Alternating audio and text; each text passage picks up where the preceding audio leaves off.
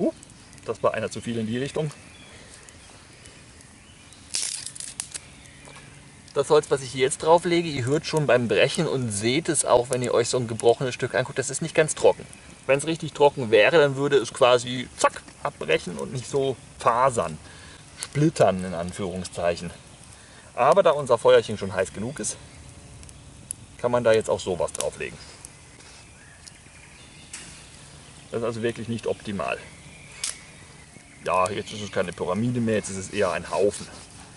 Und damit möchte ich es jetzt auch bewenden lassen, weil ich will euch ja dann nachher noch zeigen, wie man das dann korrekterweise löscht. Und, was mir auch immer sehr wichtig ist, die Feuerstelle hinterher wieder tarnt. Man kann sie ja noch mal verwenden, da spricht nichts dagegen. Ich habe auch ganz wenige, ich glaube zwei oder drei äh, Feuerstellen im Walde. Ja, drei. Ähm, die ich dann regelmäßig nutze, aber ich verstecke die auch jedes Mal wieder und ähm, bedeckt die Asche schön mit Laub und so weiter und so fort, damit man das nicht gleich sieht, dass hier jemand sich eine Feuerstelle angelegt hat. Sodala, das ist jetzt schon ein wenig Zeit vergangen äh, inzwischen und das Ganze ist ganz gut runtergebrannt. Fängt jetzt auch deutlich mehr an zu rauchen, weil halt eben die Temperatur nicht mehr so hoch ist. Wir haben keine so vollständige Verbrennung mehr. Entsprechend mehr Holzbestandteile verdampfen in Form von Rauch. Das ist natürlich dann blöde, wenn man nicht entdeckt werden möchte, wenn es ordentlich raucht. Man kann sich also jetzt überlegen, je nachdem, wie sehr man sich tarnen will, jetzt auch in Survival-Situationen, wo man nicht entdeckt werden möchte, weil man in irgendeinem Krisengebiet unterwegs ist oder solche Späße, äh, kann man sich überlegen, ob man das jetzt in diesem Moment auch schon löscht, weil es einem zu gefährlich ist, eben mit diesem Rest, der jetzt noch raucht, das noch eine Weile vor sich hin qualmen zu lassen. Denn wenn ihr das Ganze jetzt nicht wieder ordentlich anfacht, und wieder ein richtig heiß brennendes Feuer draus macht, raucht euch das die ganze Zeit weiter. Und da gibt es auch keine Möglichkeit, das zu verhindern. Ich möchte es aber gerne zu Ende äh, brennen lassen und möglichst noch alles verbrennen, was jetzt hier noch an Hölzchen außenrum eben liegt. Schmeißt man dann einfach mitten rein. Und dann kann ich euch nämlich auch noch mal zeigen, wie das mit dem Reinpusten funktioniert solche Holzrestchen dann auch mitten ins Feuer legen, ist auch was, wo man ein ganz kleines bisschen auf die Hände aufpassen sollte. Das kann auch schon mal in die Hose gehen, dass man was anfasst, was doch heiß ist. Also einfach ein bisschen vorsichtig sein und überlegt handeln. So, Sinn und Zweck von der ins Feuer puste Aktion ist es halt einfach, dass da noch zusätzlicher Sauerstoff dazu kommt, was die Verbrennung dann noch mal kurzfristig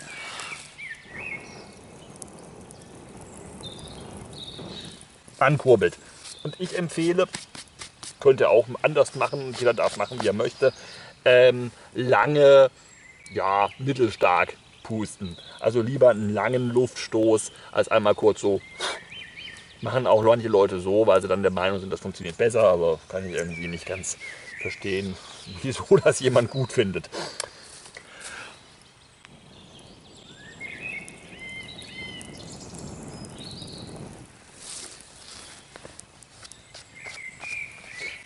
Also man hätte jetzt auch noch mal mit Holz draufschmeißen, das Ganze problemlos noch mal anblasen könnten, können. Wenn man jetzt noch mal mehr kleinere Stöckchen draufwerfen könnte, würde, könnte man das auch wirklich absolut problemlos wieder zum richtig großen brennenden Feuer bekommen. Also was heißt ein richtig großes, ein dem Zweck angepasstes.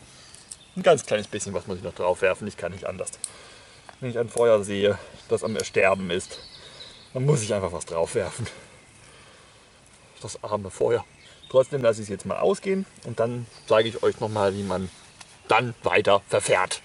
Ich wollte euch doch noch jetzt ein bisschen was zum Thema Funkenbildung erzählen. Also ich habe die Erfahrung gemacht, jetzt schmeiße ich schon wieder Holz drauf, meine Güte, lass das, böse, aus. Äh, ich habe die Erfahrung gemacht, dass wenn man auf ein sehr heiß brennendes Feuer nässeres Holz drauf wirft, dann kriegt man Funken, weil dann möglicherweise Wassereinschlüsse im Holz explodieren. Dann knackt es auch richtig beim Brennen und bei sowas kann dann auch mal ein Funken weiter wegfliegen. Das ist so die Sache, die dann, was das angeht, ein bisschen gefährlich ist, äh, weil es halt Funkenflug gibt. Deshalb, wenn man von vornherein immer mit dem optimalst trockensten Holz arbeitet, hat man auch ganz, ganz wenig Funkenflug. Ich habe jetzt bei diesem Feuer keinen einzigen Funken gehabt, der irgendwo hingeflogen wäre. Ich habe nicht mal einen gesehen, geschweige denn, dass einer irgendwas angezündet hat. Es hat vor zwei Tagen noch richtig ordentlich geregnet. Ich habe jetzt halt wirklich nur optimalstes Holz gesammelt für das Feuerchen. Und von der Brenndauer hätte es jetzt echt ausgereicht, um sich damit was zu essen zu kochen. Kommt halt auf an was. Kartoffeln wäre schwierig geworden. Die müssen ja eine ganze Weile kochen, aber mal eben heißes Wasser machen, um irgendwelche Asianudeln reinzuschmeißen, dafür hätte es gereicht.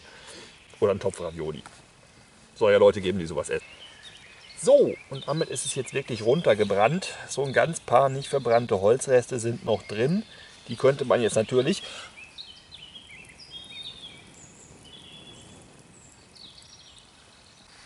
auch noch mal ein wenig anpusten, damit es noch mal eine Flammenbildung gibt. Ja, ne? Aber ich habe mir gedacht, jetzt machen wir hier langsam mal Finito. Ach komm. Hallo. Ich wollte doch Finito machen. Geh mal wieder aus. Generell gibt es jetzt die super spaßige Möglichkeit, sein Feuer durch Auspinkeln zu löschen.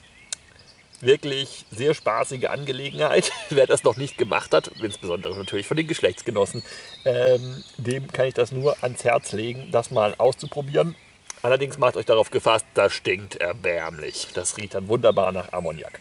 Ähm, na, wie dem auch sei, äh, das machen wir jetzt nicht sondern ich wollte euch eine andere Variante zeigen. Nämlich, wenn ihr euer Feuer jetzt ganz, ganz schnell auskriegen wollt, habt ihr zwei Möglichkeiten. Entweder ihr kippt eine große Menge Wasser drauf, habe ich jetzt nicht. Wird in den meisten Fällen wahrscheinlich der Fall sein, dass das nicht verfügbar ist.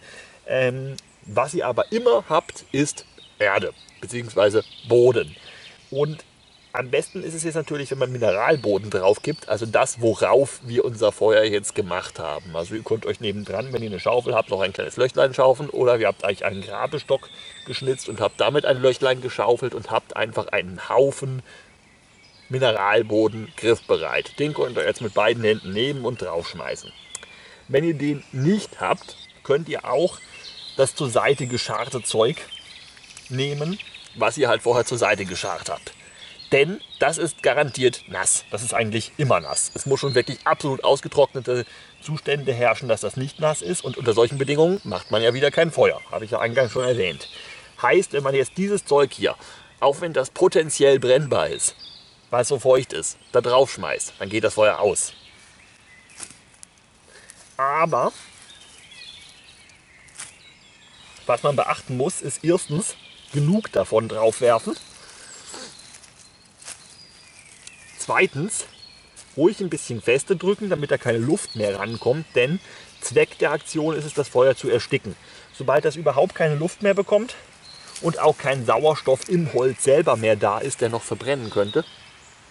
Oh, und jetzt regnet es. Oh, ich habe prima Timing, bin ja gerade fertig dann geht das Feuer nämlich auch ordentlich schnell aus und vor allen Dingen, es raucht nicht noch wie Sau. Wenn man da jetzt einen Eimer Wasser drüber gekippt hätte, dann hätte das jetzt geraucht ohne Ende. Das gleiche natürlich bei Auspinkeln. Und wir hätten das Problem, dass uns dann jeder bemerkt, wenn wir in einer Umgebung sind, wo wir halt darauf achten müssen, nicht bemerkt zu werden. Ganz, ganz, ganz, ganz wichtig allerdings, wenn ihr so euer Feuer gelöscht habt, das jetzt so aus aussieht, ist der nächste Schritt, den ganzen Scheiß wieder runternehmen natürlich nicht mit der Hand und gucken, ob es auch wirklich aus ist. Und dann raucht es nämlich noch ein bisschen weiter und dampft auch noch ein bisschen weiter. Aber das beobachtet ihr jetzt noch, weil Zeit habt ihr ja. Boah, 10 Minuten wäre gut. 5 Minuten ist Minimum. Das werde ich gleich im Anschluss auch noch machen, auch wenn es jetzt regnet. Ja, man sollte meinen, oh, es regnet, dann kann es doch nicht noch brennen. Aber sicher ist sicher. Da muss man wirklich immer 150-prozentig sicher sein, dass bevor man geht, das Feuer auch wirklich aus ist. Es bringt was, das Ganze schön großflächig zu verteilen, weil so einzelne Glutstücke sind nicht in der Lage, dieses ganze nasse ähm, Pflanzenmaterial hier in Anführungszeichen anzuzünden. Da kann jetzt eigentlich nichts mehr passieren. Sicherheitshalber könnte man jetzt hier ohne dass es stinkt, auch noch mal drauf pinkeln oder ein bisschen Wasser drauf kippen. Dann würde man auch noch sehen, wo ist es noch heiß, wo raucht es noch ein bisschen und müsste da dann noch mal entsprechend eine äh, weitere größere Menge Wasser drauf machen. Oder eben man wartet wirklich noch ein bisschen länger. In der Regel wird es eigentlich kein Problem sein, wenn hier jetzt noch 10 Minuten hocken bleibt. Aber ganz, ganz wichtig ist, dass man den Haufen nochmal aufmacht und sicher geht, dass dann auch wirklich alles aus ist. Der Haufen ist nur dazu da, das kurz zu ersticken und dann halt wieder aufmachen. Weil wenn man das nicht macht, dieses wieder aufmachen, dann hat man halt das Risiko, dass es tatsächlich da innen drin noch weiter schwelt und dann doch irgendwann, nachdem man schon lange nach Hause gegangen ist, nochmal eine offene Flamme entsteht und dann hat man den Waldbrand. Also das hat schon seine Daseinsberechtigung. Das Einzige, äh, weshalb man diese Methode trotzdem anwenden kann, ist halt, weil man sich an Regel Nummer 1 des Feuermachens gehalten hat, immer beaufsichtigen. Immer drauf gucken, immer da sein, dann kann auch nichts passieren. Also das war Feuermachen für blutige Anfänger. Was ich euch jetzt nicht mehr zeige, aber kurz erkläre, ist, ihr schart jetzt den Platz, an dem ihr euer Feuer gemacht habt, einfach wieder so zusammen, wie ihr vorher das Laub auseinander geschart habt. Markiert euch vielleicht die Stelle, wenn ihr nochmal wiederkommen wollt und hier nochmal ein Feuer machen wollt. Denn es ist generell gut, so wenig Feuerstellen wie möglich anzulegen. Völlig egal, ob man es darf oder nicht. Oder äh, gut, wenn man es nicht darf, dann sollte man gar keine anlegen natürlich. ähm, es geht nur darum, jedes Mal, wenn ihr ein Feuer gemacht habt, sterilisiert die Hitze den Boden unterm Feuer und im gewissen Umkreis. Da ist alles tot. Ihr tötet also sämtliche Mikroorganismen, die da im Boden leben, inklusive Regenwürmer. Und wenn in der Stelle jetzt gerade der Maulwurf gesessen ist und geschlafen hat und es nicht mitbekommen hat, dann ist der auch kaputt. Das ist natürlich Quatsch. Aber ja, man muss ja nicht mehr Natur kaputt machen, als unbedingt notwendig ist. Wenn ihr einmal an derselben Stelle euer Feuer macht, dann habt ihr den Schaden nur ein einziges Mal angerichtet. Und jedes weitere Mal, dass ihr da Feuer macht, ist dann egal. So, und mehr habe ich glaube ich dazu nicht zu sagen. Und baue jetzt hier ab, bevor mir die Kamera nass wird. Macht's gut. Ich hoffe, das hat euch einigermaßen was gebracht, wenn ihr blutiger Anfänger wart. Bis zum nächsten Mal.